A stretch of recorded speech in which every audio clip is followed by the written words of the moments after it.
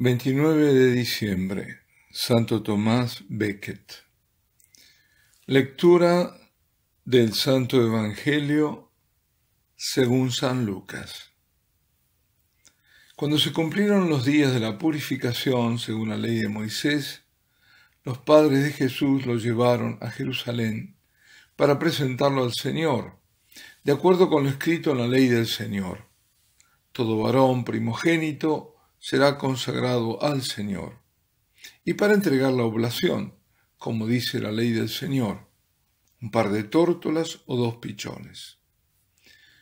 Había entonces en Jerusalén un hombre llamado Simeón, hombre justo y piadoso, que aguardaba el consuelo de Israel, y el Espíritu Santo estaba con él. Le había sido revelado por el Espíritu Santo que no vería la muerte antes de ver al Mesías del Señor. Impulsado por el Espíritu, fue al templo.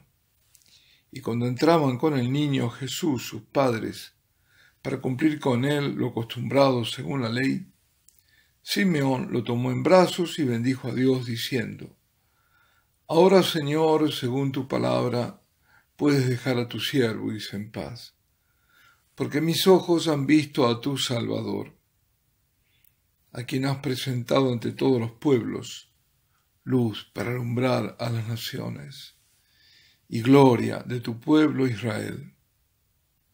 Su padre y su madre estaban admirados por lo que se decía del niño. Simeón los bendijo y dijo a María, a su madre, Este ha sido puesto para que muchos en Israel caigan y se levanten, y será como un signo de contradicción y a ti misma una espada te traspasará el alma, para que se pongan de manifiesto los pensamientos de muchos corazones. Palabra del Señor. Las profecías, que cuando Dios habla a través de los hombres, o es el mismo en Jesucristo, pueden estar referidas al presente, no solo al futuro. Y a veces son profecías que se cumplen en determinado momento de la historia y otras que son de perenne cumplimiento, es decir, están cumpliéndose siempre. Pues esta de Simeón, que le dirige a María, la Madre del Señor, es de esas últimas, porque siempre Jesucristo es signo de contradicción. Porque siempre en torno a su persona se dividen los corazones y se ponen de manifiesto sus pensamientos. No importa, por ejemplo, que uno se diga cristiano y más aún católico, si después se manifiesta lo contrario. Un ejemplo, un ejemplo a mano, estos días son esos sedicentes católicos, representantes públicos diputados, senadores, presidentes, que luego votan o aprueban el aborto.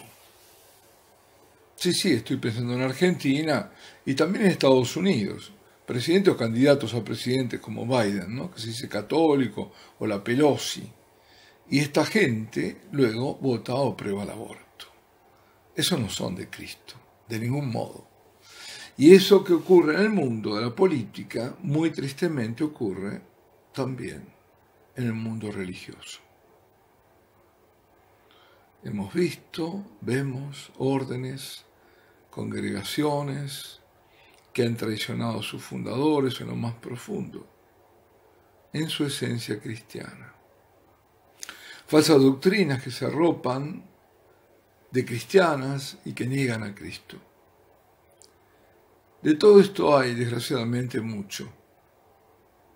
Pero donde hoy se está mostrando palmariamente que el Señor es signo de contradicción, donde se ve que hay por detrás de medidas y exigencias de obediencia y de gestos o ausencia de gestos, como para poner un ejemplo, en no arrodillarse ante la presencia del Señor en el Santísimo Sacramento, es justamente en la Eucaristía. Y a veces lo tenemos frente a los ojos y de hace tiempo, pero no se quiere ver. No se quiere ver. No arrodillarse frente al Santísimo. La Eucaristía es donde se devela el pensamiento íntimo de los corazones. ¿Cómo se trata la Eucaristía? ¿Cómo se obliga a que sea tratada sin ningún signo de reverencia, de temor de Dios, de adoración? ¿Cómo se tolera que así sea y se lo justifica? ¿Cómo se acepta sin chistar todo, todo esto pone de manifiesto el pensamiento de unos y otros, de quienes se dicen pastores y de quienes realmente lo son, de quienes se dicen fieles católicos y de quienes realmente lo son. Y, y los sacrilegios tolerados, exigidos, todo esto son espadas que atraviesan al Inmaculado Corazón de la Santísima Virgen.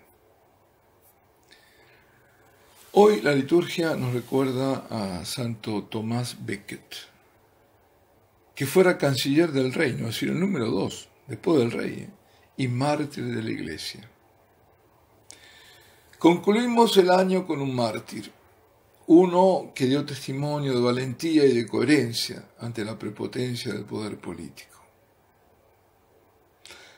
Es muy apropiado recordarlo hoy, en que nos encontramos ante el poder prepotente y mundial, ante lo que ya se está indicando como el poder político del anticristo. Thomas, Tomás, nace en Londres en el año 1118, en una familia de origen normando.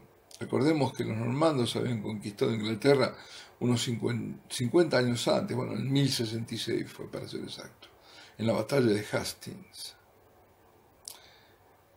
Thomas estudió en Auxerre, Derecho Canónico y luego en Bolonia, en la primera universidad que ya era famosa en Europa. Fue colaborador del arzobispo de Canterbury. En 1154 es archidiácono. Y el año siguiente 1155, el rey Enrique II, Plantagenet, de dinastía normanda, lo nombró canciller del reino. Bueno, Enrique y Tomás estaban ligados por una sincera amistad, se, se hicieron muy amigos, la colaboración de Tomás fue estrecha, fue valiosa.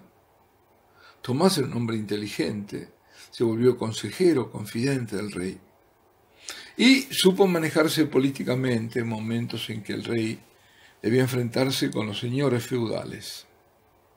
Tomás se encontraba siendo un hombre de poder, con capacidades políticas, diplomáticas, ampliamente demostradas ya cuando era colaborador del arzobispo de Canterbury, que lo había enviado en misiones incluso a Roma. Era además de inteligente, era ambicioso y gustaba dicen, de la magnificencia. Enrique II era también ambicioso y buscaba centrar en su persona todo el poder, que en parte hasta ese momento estaba en manos de nobles, de aristócratas, de obispos y de abades. Y tenía en Tomás un aliado precioso y cuando quedó vacante la cátedra episcopal de Canterbury a la muerte del arzobispo, Enrique propuso a Tomás como candidato. Tomás había sido su verdadero brazo derecho, restaurador de la monarquía. Y Tomás, cuando le propone eso, le dice al rey, si Dios me permite ser arzobispo de Canterbury, perdería la benevolencia de vuestra majestad, y el afecto con el que me honraste se transformarían en odio, ya que varias acciones vuestras que perjudican a la Iglesia hacen que yo tema que un día podrías pedirme algo que no podría yo aceptar. Y los envidiosos no dejarían de considerarlo un signo de conflicto sin fin entre nosotros. Bueno, esas palabras fueron proféticas. Pero el rey en ese momento no le dio importancia e insistió. Tomás declinó la invitación del rey a ser arzobispo. hasta que debió intervenir el nuncio apostólico. Y fue el nuncio que lo convenció de aceptar ser arzobispo de Canterbury en 1161. Fue ordenado sacerdote y obispo. Era archidiácono, pero no era sacerdote. Como primer acto se transfirió de Londres a su sede. Ya ahí empezó a haber grandes cambios. Fue un hombre valiente, fue un hombre íntegro. Se había vuelto hombre de iglesia, o sea, de servicio, no más hombre de poder según la lógica de este mundo.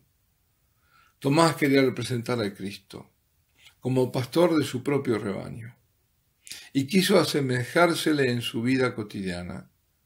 Sobriedad en el comer, en el vestir, oración, meditación de la escritura todos los días, distribución a los pobres de limosna, que ya lo venía haciendo cuando era canciller. ¿eh?